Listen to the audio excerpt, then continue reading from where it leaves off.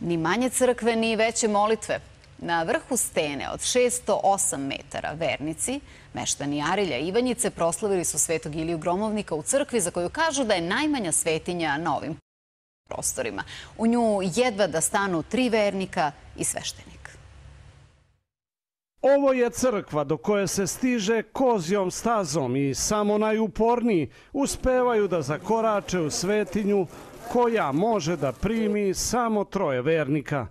Broj e, vernika koji ovdje dolazi je u porastu, a na odnosu broj stanovnika. Ovo je inače prazne sela, ali ovdje narod masovno dolazi, poštujući ovu svetinju i naravno slavu Svetoga Iliju i komi se klanjaju i zbog toga je ovo danas jedan veliki praznik za čitav region.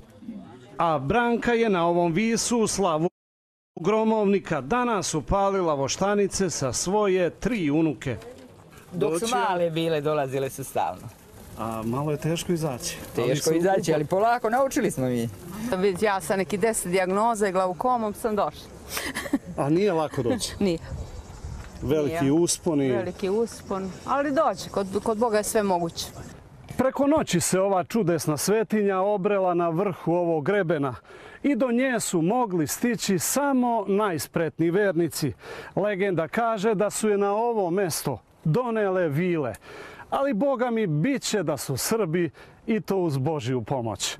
Gvozde Nikolić, Prva televizija.